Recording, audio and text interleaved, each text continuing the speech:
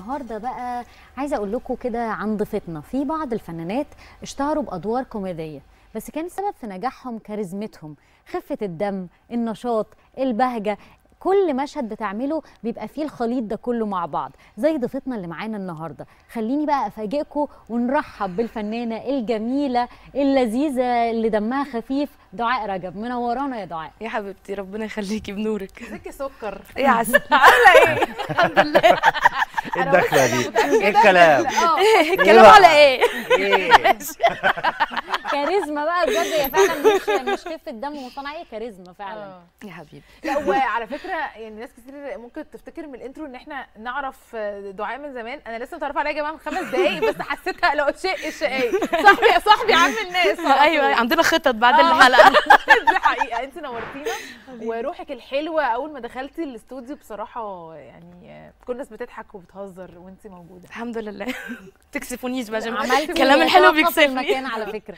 بجد. آه لا الحمد دي لله. الحمد. لله. طب قولي لي بقى خفة الدم دي أصلا يعني آه، انت دايما أدوارك لذيذة وكوميدية وبتاع ودايما رايحة في حتة صعبة والكوميديا. أنا دايما أشوف إن أي فنان بيقدم كوميدي هو أصعب حاجة أصعب من إن انت تعيطي حد إن آه، انت تضحكي دي حقيقة.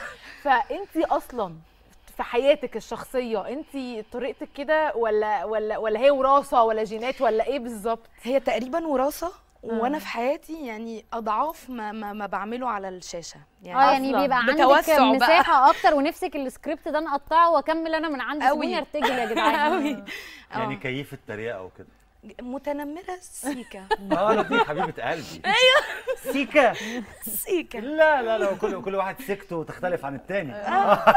ايهاب سكتين ثلاثة أربعة كده. يعني نقابل كل المصايب كده ب- بوش بشوش وابتسامة أمل. آه، خير اللهم. اجعله خير. اللهم اجعله خير أيوه. طيب خليني برضو أسألك حاجة. أنا أول ما شفتك. انت خسيتي أو قلت لك أول حاجة انت خسيتي قوي ناس كتير ممكن تكون بقت تلخبط في شكلك لأن انت ما شاء الله عملتي ترانسفورميشن رهيبة برضو أكيد مجهود واضح إن انت خسيتي قوي مش ف- مجهود قوي بس هحكي لك القصة آه لا أنا عايزة أعرف طب انت خسيتي حابة تتكلمي خسيتي إزاي؟ آه. احكي لي. آه بصي. وليه خدتي القرار برضو؟ أخدت القرار عشان صحتي كانت تعبت يعني جيت مم. في سنة من السنين كده ما كنتش قادرة بقى أتحرك خالص. أنا أنا متصالحة مع شكلي جدا و... ولبسي وطريقتي وكل حاجة. فجيت في وقت كان ال- الصحة تعبت حرفيا بقى فقالوا لي لازم تخسي بسرعة. فعملت عملية. مم. آه الحمد لله ظبطت بعدها شوية بس طبعا حبي للأكل غطى على العملية و... فبوظ كلت العملية العملية بالدكتور بكل حاجة فتمام يعني بس وصلنا لحتة حلوة آه، لا بس في فرق فرق آه،. الفرق باين. آه،. okay طب والأدوار بقى اللي بقت تجيلك آه، بعد ما أنت خسيتي خلي بالك في فنانين ما بترضاش تخس. عشان هي ال character بتاعتها كده فالأدوار بتجيلها كده ف- والناس طبعاً. كمان بتبقى آه. حابة الشكل ده. الحبه الشكل. هل آه، بعد ما خسيتي ال- العروض اللي جات لك مثلا ابتدت تقل شوية أو ولا الناس استغربتك؟ الناس ما بقتش بتعرفك زي زمان في الشارع. هل ده اتغير ولا لسه- زي ما هو؟ لا والله بالعكس العروض بقت آه، أحسن وبقت مفتوحة بشكل أكبر شوية. آه، بس فعلا الناس بقت تتلخبط فيا. يعني آه. في ناس كتير ما ما بتعرفنيش بعد كده لما يدا إيه ده هو أنت اللي لا أيوة، أيوة. أقول لهم آه واقعد أحكي القصة بقى إن أنا خسيت. سيكة وبتاع بس طب دعاء أنا بقى عايزة أرجع شوية بالزمن لورا وأعرف انت أصلا دارسة إيه ودخلتي مجال الفن والتمثيل إزاي آه، بصي أنا دارسة تجارة. عادي, عادي، كلية آه. الشعب كله ما فيهاش حاجة. آه، دخلت عن طريق المسرح. أنا كنت بمثل في مسرح الجامعة. وقعدت ست سنين آه، أشتغل. وبعد ده المسرح انت داخلة بداية قوية لأن مش أي حد بيعرف يعمل مسرح. دي حقيقة. وفادتني. فادتني. كتير جدا في, في, شغلي في التلفزيون والسينما وكده.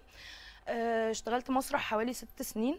وبعد كده المخرج محمد النقلي شافني كتكوتة كده صغنطوطة. فأخدني في أول حاجة عملتها كانت زهرة وازواجها الخمسة. آه. بعدها ده ده مصر كلها مسلسل شافت مكسر المسلسل. الدنيا. آه. آه. كنت كنت عيلة رضا كده في, في آه النص. آه بعدها أستاذ أحمد صقر و... و...